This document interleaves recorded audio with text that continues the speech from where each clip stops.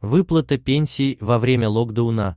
В ПФ сделали уточнение. Во время локдауна пенсии будут выплачиваться в привычном режиме.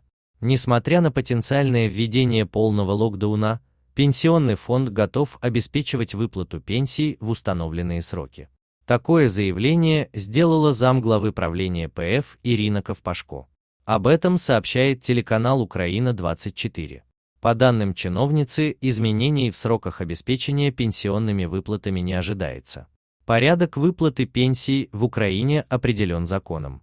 И таких способов два – с доставкой домой через Укрпочту и через счета в банках. Мы уже проживаем в условиях карантинных ограничений более года, и выплаты осуществляются в установленные сроки и доставляются всем пенсионерам, которые имеют право на них.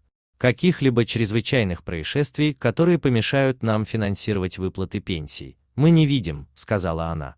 Также Ковпашко рассказала, может ли повлиять дефицит пенсионного фонда на пенсионные выплаты. Когда мы говорим о дефиците пенсионного фонда, нужно понимать, что это. Это определено в законе. Меньшее поступление солидарной системы за счет единого соцвзноса чем те суммы, которые направляются на выплату из солидарной системы за счет единого соцвзноса. Суммы средств, привлеченные из единого казначейского счета в виде заимствований на возвратной основе, никак не влияют на обеспечение финансирования, добавила чиновница. По ее словам, нехватка денег в фонде никак не скажется на выплатах из-за границ финансовых назначений, определенных бюджетом пенсионного фонда на 2021 год.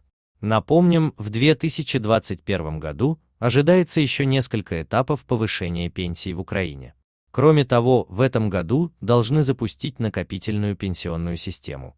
Отметим, гендиректор Укрпошты Игорь Смелянский заявил о принудительном с 1 сентября 2021 года переводе на карты всех пенсионеров, кроме инвалидов первой группы, тех, кто не ходит и тех, кому за 80 лет. РБК Украина писала, что с 1 апреля для части украинцев подняли пенсионный возраст. Издание подробно расписало, кого это коснется.